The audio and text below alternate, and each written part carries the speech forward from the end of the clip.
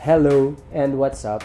Ako si Kian Cipriano. Sa dami rin ng ginagawa ko, parang feeling ko, kailangan ko ng um, isang powerful na device. And right in front of me is the ROG Zephyrus Duo 15. Tingnan natin kung ito ba yun. Well, yeah, from from yung external niya, yung external lang na, na features pa lang, kumbaga, um, let's say nasa mall ako, tapos nakita ko to, tapos para, oy, okay ba yung laptop na yan?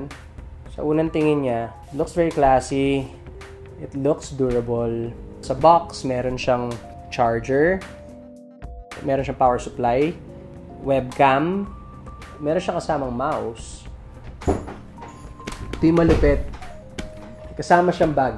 This is a super cool bag. Ayun, ang ganda ng gawa. Mas mukhang matibay siya. Tapos parang kayang-kaya niyang bit-bitin kung ano man yung kailangan mong ilagay. Pagbukas ko ng box, meron siyang kasamang ROG Delta RGB Quad DAC gaming headset.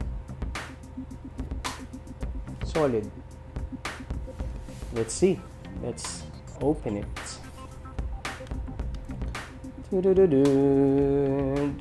Oy.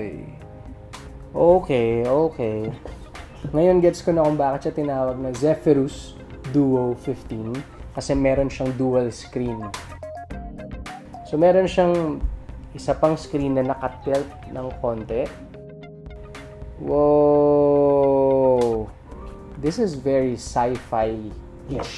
ROG Screen Pad Plus yung nakalagay. Sa kabila naman may nakalagay na GX550. This is really cool. Meron siyang built-in mouse sa lower right niya.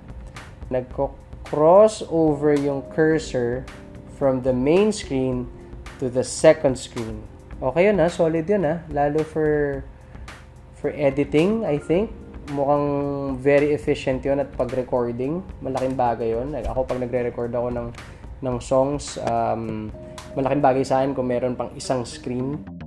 Looking at this powerhouse laptop, very appealing siya sa akin kasi mukhang mukhang marami akong pwedeng gawin dito. I think you can say browse sa internet dito sa main screen habang nagigaming ka naman dito sa maliit na screen or vice versa. Oy, so yung screen pad niya touchscreen pag prines mo na gano'n, may lumalabas siya na quick key, handwriting. Uy, handwriting, astig! Astig! Tingnan natin. Uy, kailangan ko to. Kailangan ko to. Ngayon, digital signature na, di ba? So, laking bagay to or parang gusto mo lang mag-doodle or meron kang whatever. Okay yun. Meron din siyang number key. Let's see. Mm-hmm.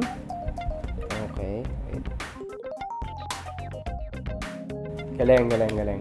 All in all, in general, if you're a video editor, music producer, a recording artist, a gamer, um, or kung nasa creative field ka man, I think the Zephyrus Duo 15 is perfect for you. Pang multitaskers talaga siya. So, yeah, uh, that's about it. I think it's time for me to just create and create and create. See you again next time. Peace.